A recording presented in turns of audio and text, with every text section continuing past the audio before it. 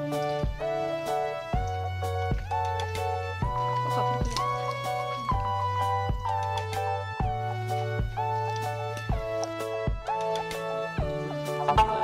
per kilo antara 12 sampai 9 oke.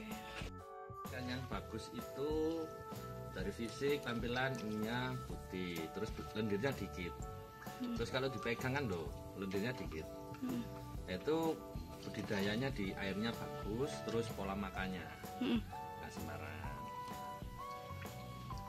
varian lele yang paling disenangi warga itu ya ukuran-ukuran kecil kalau terlalu besar itu nggak laku Hmm. katanya ya ya apa ya sepo kan ya Sepo. iya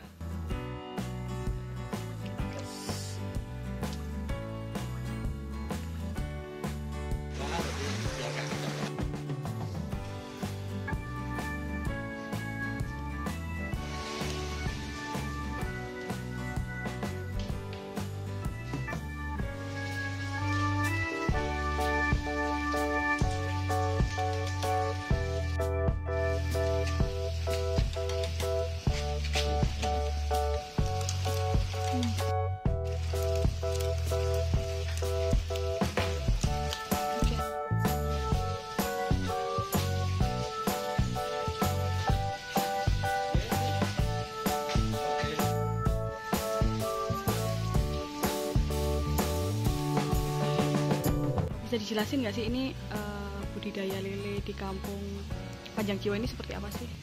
Eh, budidaya kolam di Panjang Jiwo itu intinya di budidaya perkotaan Hmm. jadi memanfaatkan lahan tidur yang tak bisa dimanfaatkan untuk budidaya ikan salah satunya budidaya ikan lele Hmm. lah kenapa lele lele itu rentan panennya itu pendek Hmm. antara dua bulan sampai tiga bulan Hmm. Kalau terlalu lama itu balik modalnya yang susah Oke. Nah kebetulan di Panjang Jiwo ada komunitas petani yang namanya Kumis Lele. Hmm. Jadi komunitas ikan Surabaya lele disingkat Kumis Lele. Nah kebetulan bersama dengan Pak RT dan LKMK sebagai fasilitator untuk membuat organisasi eh, tani yang itu tadi Kumis Lele akhirnya dibentuklah sharing project budidaya lele panjang jiwa. Keunggulan dari eh, kelompok tani budidaya lele ini apa sih mas? Keunggulannya itu kita itu budidaya di perkotaan ya, diusahakan budidaya itu yang higienis Hmm. dan ramah. Lah kebetulan di di homebase-nya Kumis Lele ini kan ada kegiatan PAUD. Hmm. Nah, mungkin kan kita kalau budidaya itu budidaya asal-asalan, anu, terus ting- eh, padat penduduk kan mempengaruhi bau. Hmm. Makanya kita pak cari solusi yang terbaik budidaya yang higienis dan ramah lingkungan. Oke.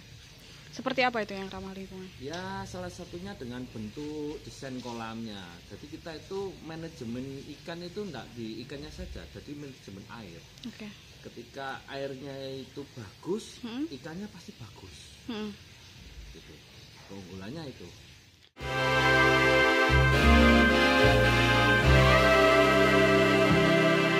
Harian Surya, Spirit Baru, Jawa Timur.